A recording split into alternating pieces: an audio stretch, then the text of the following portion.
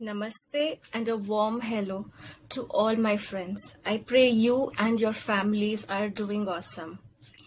There are some lives that touch us so profoundly that they make you feel that you have to emulate those lives. And then one fine day, they go back to the source from where we all came. And you are left with that feeling of emptiness, that that hope, that wish that you had met them once. So, with this theme in mind, I wish to talk about Kamla Bhasin ma'am, who spearheaded the feminist movement in India. I love Kamla ma'am, and I really pray you are happy wherever you are, ma'am. I first heard about uh, Kamla Bhasin ma'am through Runodi and uh, Shipra in a gender workshop, which I attended in 2016. And in that workshop, I was given two booklets which were penned by Kamla ma'am.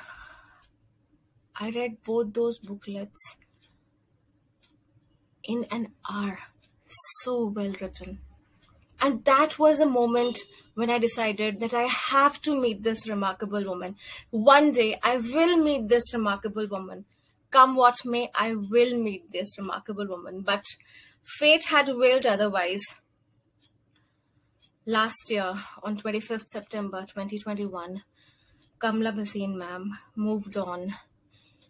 And all those who knew her were left with the deepest hole possible in our hearts. I really wish I'm able to touch even at least one life in my lifetime in the way Kamla Bhasin ma'am touched millions of lives. Through her music, through her passion, through her spirituality, she went through hell in her life, but she emerged from tops in all those situations. I salute to you, ma'am. I love you, ma'am. Even though I've not been able to see you in this lifetime, but I'm very sure I will definitely connect with you one day. So, in this video, I really want you all to know about this remarkable woman. Kamla Bhasin, ma'am, was born on 24th April 1946 in Shahida Valli village in Gujranwala district in Punjab. One of six siblings, she moved with her family to Bharatpur in Rajasthan, where her father worked as a doctor. Her mother was a homemaker. Kamla was educated in Jaipur. She became an icon of India's women's movement. Her spirit, slogans, poetry, songs, writings and speeches resonated with all and made her stand out as a leader in the feminist movement. Kamla co-founded Sangat, a South Asian women's network in April 1998. She was also a co-founder of Jagori, a women's rights NGO in India. She wrote and published books, booklets, songs, and stories, many of which have been reproduced in about 30 languages an integral part of the global 1 billion rising movement. She was one of the coordinators for the 1000 Women for the Nobel Peace Prize Initiative in 2005. Personal loss and tragedy motivated her to seek a deeper meaning of life and spirituality.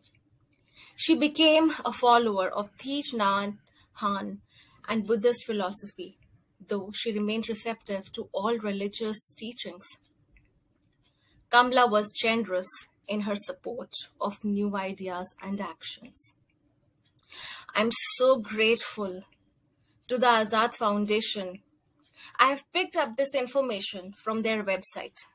They are organizing this Kamla Bhasin Award, and uh, I will be putting the link for that I really want you to check that out. And let us pray to become as influential as Kamla ma'am was. Love you, ma'am. And I pray for you May you be happy and blessed at the ultimate home where we all will go one day. Namaste. Thank you so much for listening to me. Have a great, great day.